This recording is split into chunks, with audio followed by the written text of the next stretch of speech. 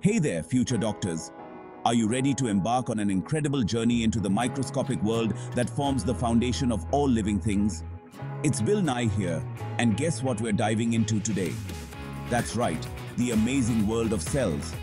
These tiny powerhouses are more fascinating than you might think. The amazing world of cells. From the smallest bacteria to the largest mammals, cells are the building blocks that make life possible. They come in all shapes and sizes, each with its own unique function. Understanding cells is like having a superpower when you're tackling the NEET UG biology exam. Imagine being able to see the intricate details of life at a microscopic level. It's like unlocking a secret code that explains how living organisms function. Why? Because cells are the fundamental units of life, my friends. Every single function in our bodies, from breathing to thinking, starts at the cellular level. These tiny units work tirelessly to keep us alive and healthy. Everything in our bodies, from our muscles to our brains, is made up of these tiny, bustling factories of life. Muscle cells contract to allow movement, while brain cells communicate to process information. Each type of cell has a specific role, and together they create the complex systems that keep us functioning. And just like any good detective needs to know their crime scene, you need to know the difference between a prokaryotic cell, like bacteria, and a eukaryotic cell, like one of your very own.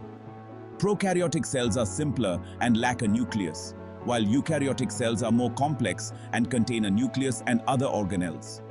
So get ready for a wild ride as we explore the fascinating world of cell theory and the different types of cells that make life possible. We'll delve into the history of cell discovery, understand the key principles of cell theory, and learn about the various cell types that exist in the world around us.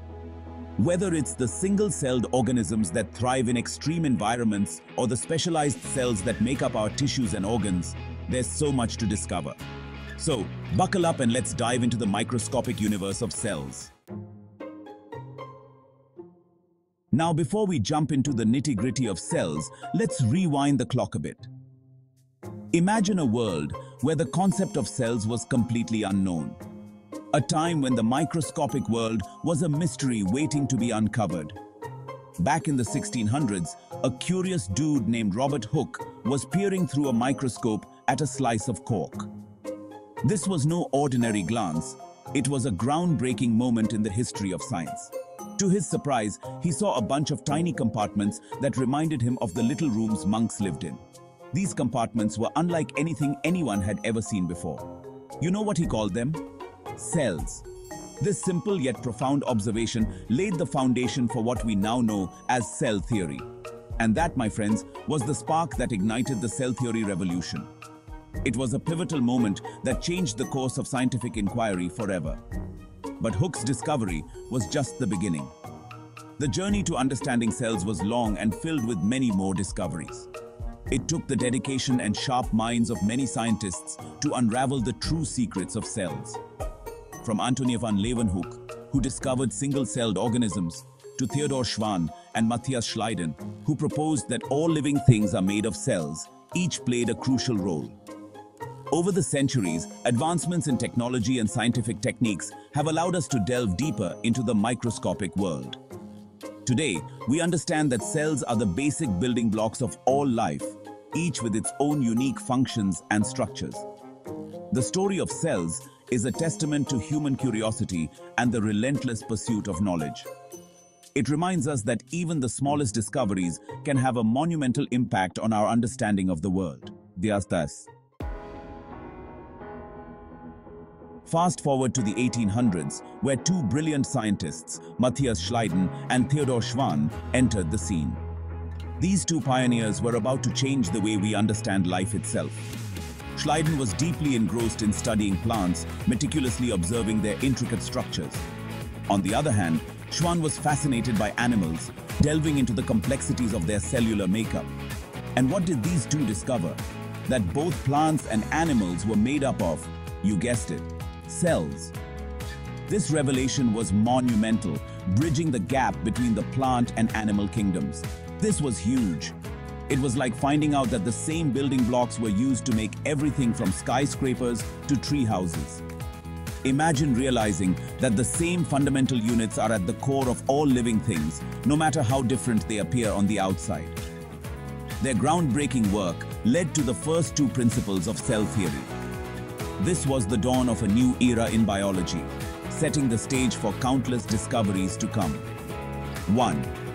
All living organisms are composed of one or more cells. This means that from the tiniest bacterium to the largest whale, every living entity is built from these microscopic units. 2. The cell is the basic unit of structure and organization in organisms. This principle underscores the idea that cells are not just building blocks, but also the fundamental units that organize and structure life itself. These principles laid the foundation for modern cell biology, opening up new avenues for research and understanding. But the story doesn't end there, folks. Enter Rudolf Virchow, another scientific superstar. He added the final piece to the cell theory puzzle. Virchow figured out that cells didn't just magically appear out of thin air. Nope. He proposed that cells could only come from pre-existing cells. Talk about a revolutionary idea. Imagine the excitement in the scientific community Virchow's contribution solidified the cell theory with its third principle. All cells arise only from pre-existing cells. Section 5. Prokaryotic cells. Small but mighty. Now that we've got the history down, let's talk about the different types of cells. First up, we have the prokaryotes, the simplest forms of life on Earth. Think bacteria and archaea, don't let their small size fool you though. These single-celled organisms are tough, adaptable, and they play vital roles in our ecosystems. From breaking down organic matter to causing diseases, prokaryotes are a force to be reckoned with.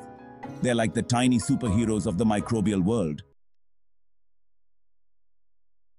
Section 6. Decoding the prokaryotic structure. So, what makes a prokaryotic cell tick? Well, Imagine a tiny, self-contained factory. Inside, you won't find a nucleus, which is like the control center of a eukaryotic cell. Instead, their genetic material, a single circular DNA molecule, hangs out in a region called the nucleoid. Prokaryotic cells also have ribosomes, tiny protein-making machines that are essential for their survival. Some prokaryotes even have flagella, whip-like structures that help them move around. Pretty cool, right? Section 7. Eukaryotic cells, the masters of complexity. Now let's move on to the big leagues, eukaryotic cells. These cells are like bustling cities compared to the prokaryotic villages. They're larger, more complex, and have a true nucleus to house their DNA. Eukaryotic cells are found in plants, animals, fungi, and protists. You name it, they're everywhere. They have a whole network of internal membranes that form specialized compartments called organelles. Each organelle has a specific job, like producing energy, synthesizing proteins, or breaking down waste. Section 8. Exploring the eukaryotic landscape. Let's take a quick tour of some key eukaryotic organelles, shall we? The nucleus, the cell's control center, stores DNA and directs protein synthesis. The mitochondria are the powerhouses of the cell, producing energy through cellular respiration. Then we have the endoplasmic reticulum, a network of membranes involved in protein synthesis and lipid metabolism. And don't forget about the Golgi apparatus, which acts like the cell's postal service, packaging and transporting molecules. Section 9. Prokaryotes versus Eukaryotes, a tale of two cells. Alright, time for a quick comparison. Prokaryotic cells are like the minimalist campers of the cell world, small, simple, and efficient. Eukaryotic cells, on the other hand, are like the luxury RVs, spacious, complex, and packed with amenities. Remember, NEET loves to test your understanding of the differences between these two cell types. So, Make sure you can compare and contrast their structures like a pro. Section 10. Cell Theory and Cell Types in NEET Exams. Ace your prep. So why is all this cell knowledge crucial for NEET, you ask?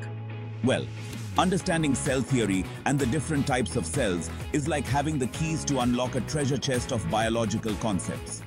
You'll encounter questions about cell structure, function, and the principles of cell theory throughout the exam. Remember, practice makes perfect. Work hard, stay curious, and you'll be well on your way to acing NEET UG Biology.